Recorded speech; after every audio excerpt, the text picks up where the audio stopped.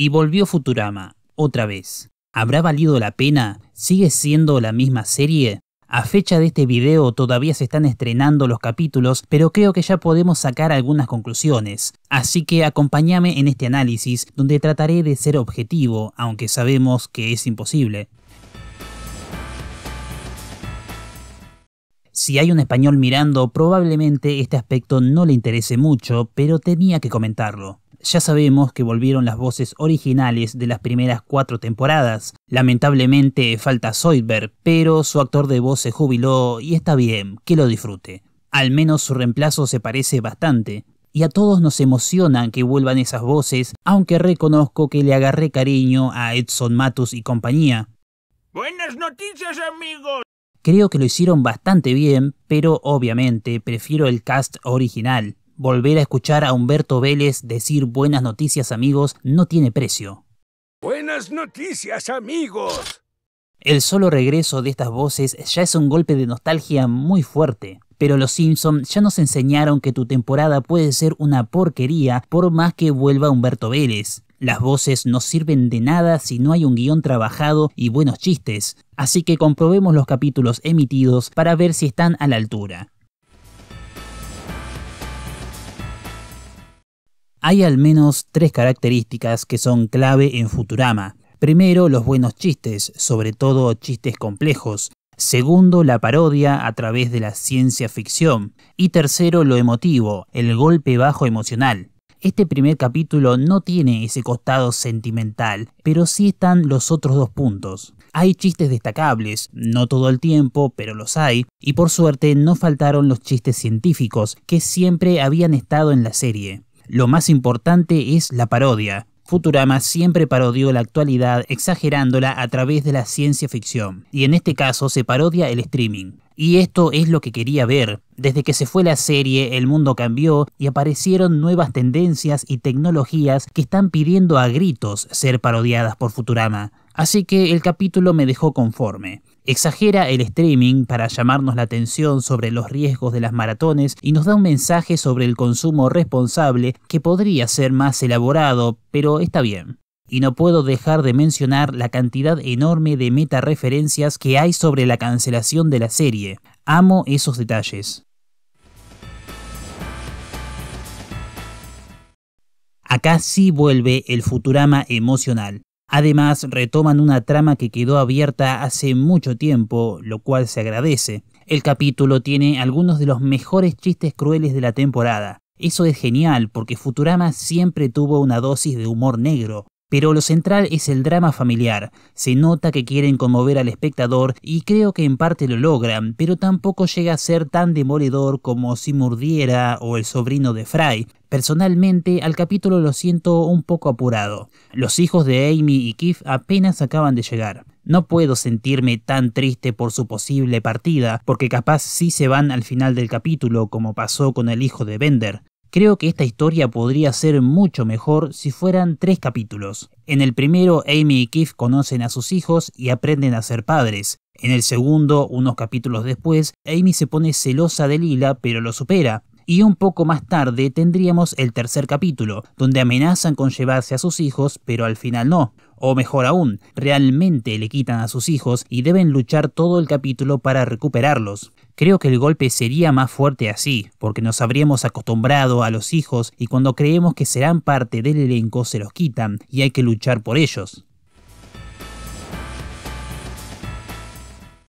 Esto es Futurama. Por capítulos como este quería que vuelva. La historia tiene varias tramas menores que se unen en el final y tienen un cierre propio. Es una estructura que está en algunos de mis capítulos preferidos, como 300 dólares o El prisionero de venda, pero lo mejor son los chistes que tienen varias capas de profundidad. Hay una burla constante hacia el Bitcoin y aprovechando el doble sentido de la palabra minería, crean una parodia de la fiebre del oro, cuando la gente migraba al oeste estadounidense buscando este mineral. Ahora la gente migra buscando hacerse ricos con los bitcoins y la parodia de la fiebre del oro se convierte en parodia del viejo oeste. El oeste y los bitcoins encajan perfectamente a pesar de ser tan distintos. La gente migra buscando energía barata, el pueblo se ve antiguo porque toda la energía se usa para la criptominería, La nave Planet Express se convierte en carreta porque el aire está contaminado por la minería de bitcoins. Tanto las criptomonedas como el viejo oeste son lugares fuera de la ley donde todo vale con tal de hacerse rico lo más rápido posible. En resumen, estamos ante una parodia muy bien pensada. Tan pensada que si no tenés un mínimo conocimiento de criptomonedas se te van a escapar varios chistes. Y en una nota aparte, Futurama no deja de darnos fanservice, rescatando viejos gags. Yo tomaría mi turno, pero ya me puse mi pijama. O en el doblaje latino, haciendo referencias a los Simpson. ¿Por qué siempre me persigue la desgracia? Saben lo que su público quiere y se lo ofrecen. No vi ni leí Doom, y ahora necesito leerlo. Siento que me estoy perdiendo algo si no conozco la obra que están parodiando.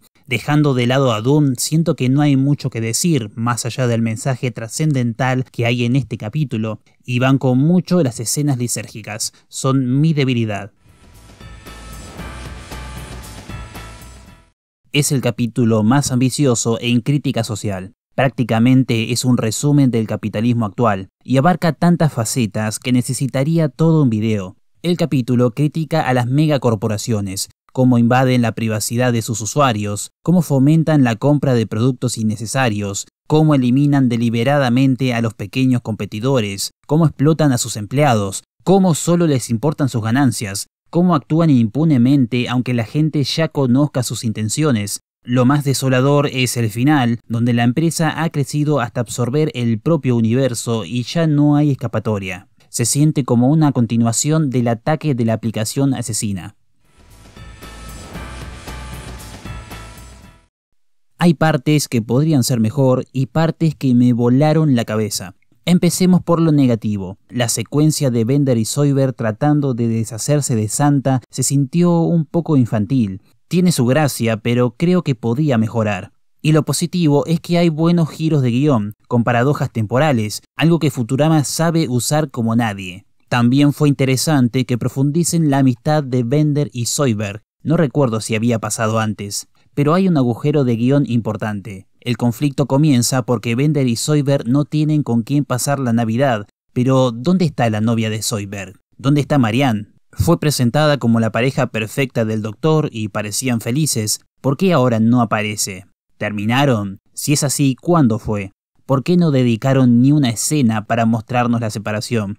Ya sé, la gracia de Soyber es ser un perdedor que está desesperadamente solo. Si tiene una relación feliz, corre el riesgo de volverse aburrido. Imagino que en su momento le consiguieron esa novia porque creían que la serie sí se iba a terminar, pero agradecería que busquen justificar la ausencia de Marianne. Tal vez luego lo expliquen, pero por el momento esto queda en el misterio.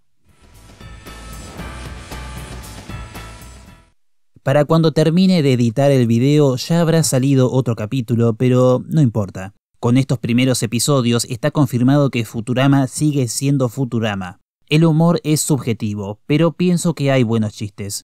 Además, conserva cierta estructura por capas. Hay una primera capa superficial que todos pueden entender, pero por lo bajo hay una capa de humor más compleja que solo comprenderán quienes tengan los conocimientos científicos necesarios. Solo un nerd puede apreciar los episodios por completo. Por otro lado, sigue habiendo buenas parodias, ya sea de otras obras o de nuestra realidad. Futurama usa la ciencia ficción para burlarse de nosotros y criticar nuestro presente. En lo que flojea un poco es en el costado emotivo. El segundo capítulo es el único que trata de darnos el golpe bajo emocional típico de Futurama. Cuando la serie vuelva a darnos un capítulo que nos quiebre emocionalmente a todos, podremos decir que Futurama volvió plenamente. Por otro lado, la serie no para de hacer autorreferencias y guiños a los fans, lo que me gustó, pero luego de un rato puede volverse molesto. A veces abusan demasiado del fanservice. Me preocupa que se salga de control. Como también me preocupa que la serie no se anime a crear nada nuevo. Casi no hubo personajes nuevos y los que hubo tampoco son demasiado carismáticos. Si solo vemos a los personajes de siempre podría volverse aburrido, pero me preocupa más lo que hagan con el cast principal. Personajes como Fry, Lila o Zoidberg habían tenido su propio desarrollo y cierre, pero ahora tienen que seguir. Es interesante ver a Fry y Lila pasar por las distintas etapas de una relación estable, pero no dejo de preguntarme qué pasará ahora con Soyber y Marianne, aunque también hay personajes cuya trama había quedado inconclusa y ahora pueden desarrollarla. Si la serie sigue ese camino puede darnos capítulos muy interesantes. Y por último, estamos diciendo que Futurama sigue siendo la misma. Para los fanáticos esto es una gran noticia, pero también puede ser un problema. En sus comienzos, Futurama era una serie disruptiva, era ácida, crítica, innovadora. Ahora ha pasado el tiempo, la serie sigue siendo la misma, pero lo que cambió fue el contexto. Hoy en día ya tenemos otras series como Rick y Morty que tomaron lo mejor de Futurama y lo elevaron a la décima potencia. Si Futurama quiere ser relevante y no una serie del montón, tendría que arriesgarse y experimentar un poco más, pero corre el riesgo de perder su esencia. Como sea, estaría ahí para verlo. Ahora me pregunto cómo serán los demás capítulos y si valdrá la pena sacar otro video para hablar de ellos. Si tenés sugerencias, las leeré en comentarios, aunque luego tarde meses o años en cumplirlas. También me gustaría escuchar tu opinión sobre los capítulos, quizás ignoré algo importante. Ahora sí se terminó el video. Lo que queda es la sección totalmente innecesaria a la que me gusta llamar autopublicidad descarada, Básicamente consiste en invitarte a leer lo que escribo en mi blog o darte una vuelta por mi Instagram. Otro día leo algo. Gracias por estar y nos vemos.